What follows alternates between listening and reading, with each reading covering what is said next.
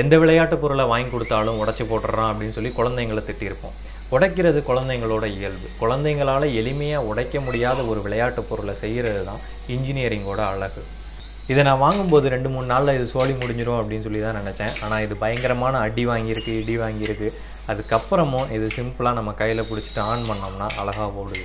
அதுக்கு இதோட அருமையான இன்ஜினியரிங் தான் காரணம். இந்த ரெக்கையை பார்த்தீங்கன்னா தெரியும். இந்த ரெக்கை ஃபிக்ஸ்டாக கொடுக்காம இது முன்னாடியும் பின்னாடியும் 90 டிகிரி நகர்ற மாதிரி கொடுத்துருக்காங்க.